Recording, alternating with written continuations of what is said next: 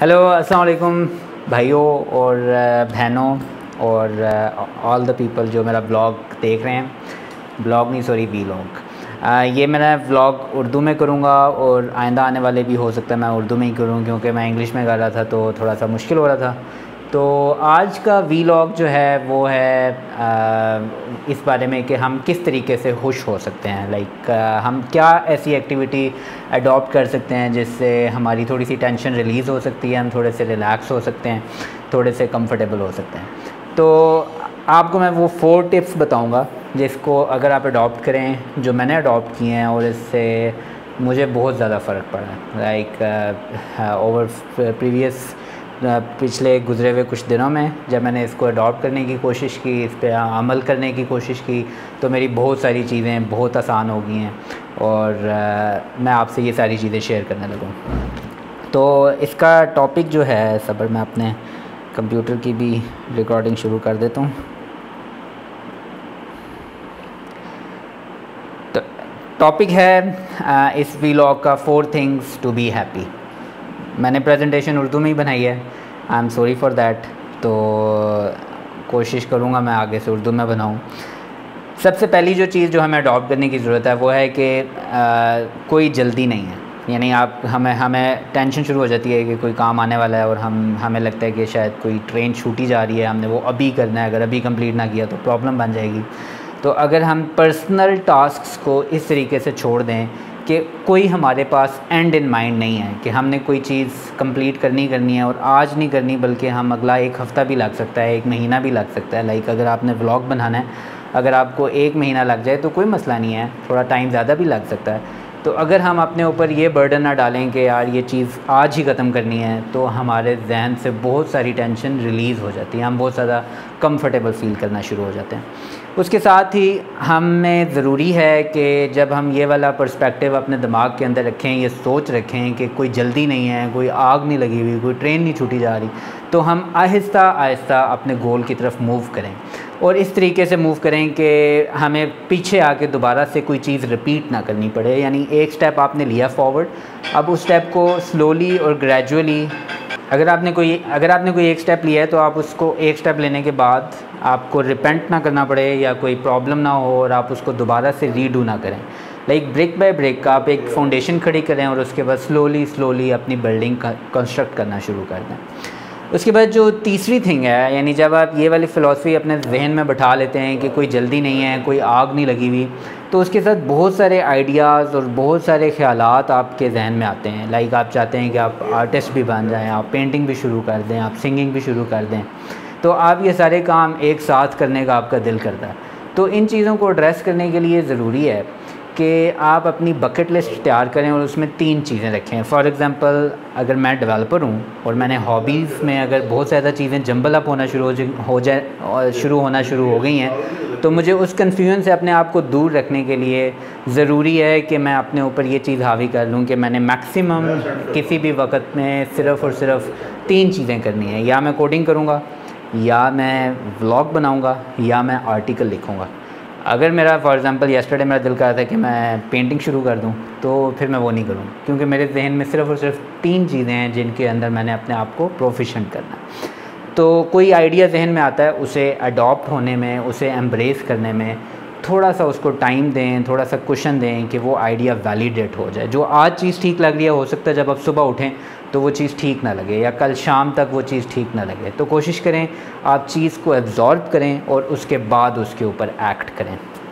तो number one tip ये है कि आप अपने आप को ये यकीन दिला लें कि कोई जल्दी नहीं है, कोई ट्रेन नहीं छूटी जा रही, कोई प्रॉब्लम नहीं है। अगर काम थोड़ा सा लेट भी हो जाए तो कोई मसला नहीं है, वो हम आराम से कर लेंगे, क्योंकि ये हमारा अपना पर्सनल टास्क है। इसको स्लोली भी अगर एग्जीक्यूट किया जाए तो it is perfectly fine number two thing ये बहुत इंपॉर्टेंट है, और इसके बग़ैर हम लोग खुश नहीं हो सकते। इसके बाद हम अच्छी ज़िंदगी या हम अपने आप को पॉजिटिव नहीं रख सकते। ये सबसे इंपॉर्टेंट चीज़ आप कह लें, जो मैं आगे चार चीज़ें बताने लगूँ। उसमें सबसे इंपॉर्टेंट चीज़ ये है कि हम अपनी एक नॉट टू डू लिस्ट बनाएँ। फॉर एग्ज़ाम्पल अगर आप स्मोकिंग कर रहे हैं तो आपने स्मोकिंग नहीं करनी। अगर आप झूठ बोल रहे हैं तो आपने झूठ नहीं बोलना। अगर आप गुस्सा हो रहे हैं तो आपने गुस्सा नहीं होना। अगर आप रात को लेट सो रहे हैं तो आपने रात को लेट नहीं सोना। मतलब कुछ भी हो जाए आपने इन चीज़ों के ऊपर कंप्रोमाइज़ नहीं करना। आ, लेट हो सकता है आप वन आवर डे आप लेट हो जाएँ सोने में।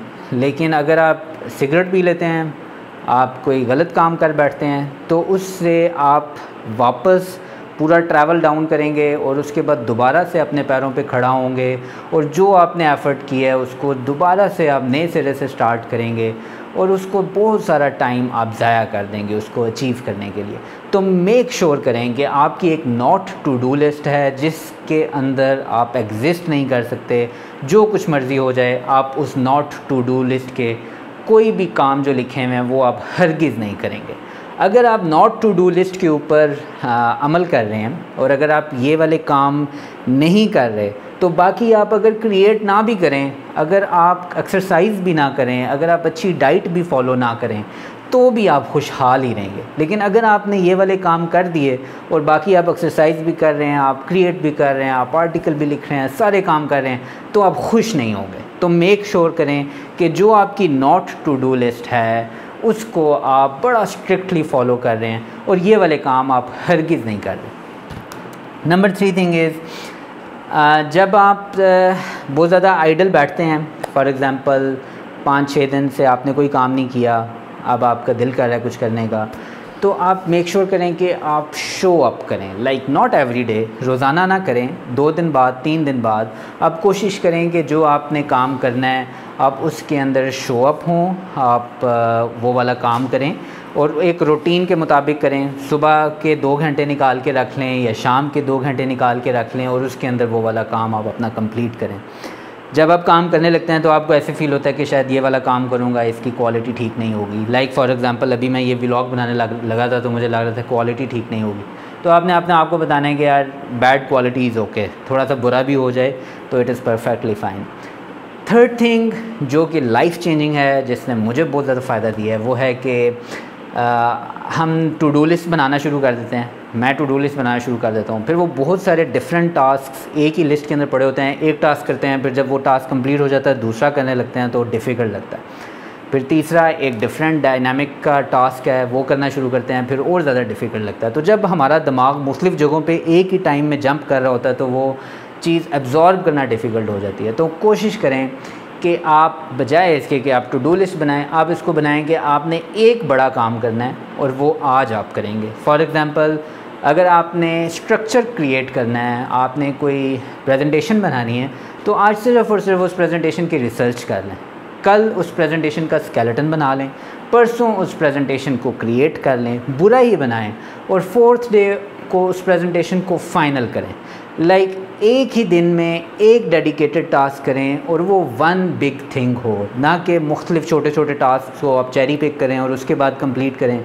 तो उससे हमें थोड़ा सा हम बोरियत से भी बच जाएँगे और हम मेक श्योर sure करेंगे कि हमारे टास्क भी कंप्लीट होना शुरू हो गए हैं और हमें थोड़ी सी खुद ब खुद इंक्रेजमेंट फ़ील होना शुरू होगी कि जो हम काम कर रहे हैं, वो पर्पज़फुल है, उसका कोई ना कोई मानी है। तो जब हमें एंड इन साइड नज़र आ रहा होगा तो हमें काम करने का मज़ा भी आएगा। नंबर फोर थिंग्स कि अभी भी मतलब ये तीन स्टेप्स आपने कर लिए। आपने मेक श्योर sure किया कि आपने अपने आप को इस फ़िलासफ़ी में ढाल लिया है कि कोई जल्दी नहीं है। आपने मेक श्योर sure किया है कि आप नॉट टू डू लिस्ट को फॉलो कर रहे हैं। आप मेक श्योर sure कर रहे हैं कि आप जो काम आपने करना है, जो एक्टिविटी आपने करनी है, वो रूटीन के मुताबिक आप कर रहे हैं। लेकिन फिर भी अगर आप फेल हो रहे हैं, फिर भी आपको लगता है कि यार अभी भी चीज़ें ठीक नहीं हो रही, अभी भी टेंशन है, अभी भी एनजाइटी है अभी भी बेचैनी की कैफियत है, अभी भी नींद ठीक नहीं आ रही। तो उसके लिए एक बड़ा सिंपल सा फार्मूला है। आप अपने आप को या अपने करंट सिनेरियोज़ को या करंट सर्कमस्टांसेस को उन लोगों के साथ कंपेयर करें जो इस वक्त एक्सट्रीम डिफ़िकल्टी का शिकार। फॉर एग्ज़ाम्पल आप किसी प्रिज़न को देखें, उसमें कोई मुजरिम है, वो किसी सॉलिटरी कॉन्फाइनमेंट में बंद है पिछले छः साल से, सात साल से उसको दिन में सिर्फ़ एक घंटे के लिए रोशनी नसीब होती है। अपने आप को उसके साथ कंपेयर करें। आप ये देखें कि किसी की टांग कट गई है, किसी का हाथ कट गया है और आप अपने आप को उसके साथ कंपेयर करें। आप देखेंगे किसी को कोई ऐसी डिज़ीज़ है जिससे उसको बता दिया गया है कि तीन दिन बाद या एक हफ़्ते बाद या तीन हफ़्ते बाद उसकी डेथ हो जाएगी। तो आप ऐसे किसी बंदे को इमेजिन करें। तो जब आप कंट्रास्ट रेफरेंसिंग करेंगे अपने करंट सिनेरियोज़ को ऐसे बंदों के साथ कंपेयर करेंगे जो वाकई डिफ़िकल्ट टाइम गुजार रहे हैं तो उससे आपको बहुत ज़्यादा डिफरेंस फील होगा। आप कहेंगे कि ऑल दो ज़िंदगी ख़राब है ऑल दो प्रॉब्लम्स बहुत सारी हैं, लेकिन फिर भी शुक्र अलहमदिल्ला खाने को भी है, पीने को भी है, छत पे शेल्टर भी है फैमिली भी है रिलेटिव्स भी हैं ड्राइव करने के लिए चीज़ भी है नेचर भी ओपन है, कैद नहीं हुए हुए तो उससे आप थोड़ा सा रिलैक्स फील करेंगे। तो ये चार चीज़ें, अगर आप इन चारों चीज़ों को अडॉप्ट करेंगे तो आई एम होपफुल मुझे बड़ा, बड़ी उम्मीद है कि इससे हमारी लाइफ के अंदर बड़ी ड्रास्टिक चेंजिंग आएँगी। तो यहाँ पे आज का ब्लॉग ख़त्म करते हैं। उससे पहले मैं आपको कंक्लूजन दे दूँ कि क्या आज हमने सीखा कि कोई जल्दी नहीं है। कोई आग नहीं लगी हुई, कोई ऐसा काम नहीं है जो आज ना किया तो कल नहीं हो सकता। कोई चीज़ छूटी नहीं जा रही। सब चीज़ें ऐसे ही चल रही हैं जैसे वो कल से चल रही हैं, परसों से चल रही सिर्फ़ और सिर्फ़ हमने अपने आप को उन गलत चीज़ों से रोकना है जो कि हमारे अंदर बेचैनी पैदा करती हैं। और हमने अपने आप को उन लोगों के साथ कंपेयर करना है जो वाकई बहुत डिफ़िकल्ट टाइम गुजार रहे हैं। और जब हम ये सारे काम करेंगे तो ओवर पीरियड हम खुद ब खुद ऐसे काम करना शुरू कर देंगे जो कि हैप्पीनेस स्प्रेड करती है। लाइक आप बात करेंगे तो लोग आपकी बात सुन के खुश होंगे। आपके साथ बैठेंगे तो उन्हें ताकत महसूस होगी, उन्हें इनक्रेजमेंट लेगी, मिलेगी।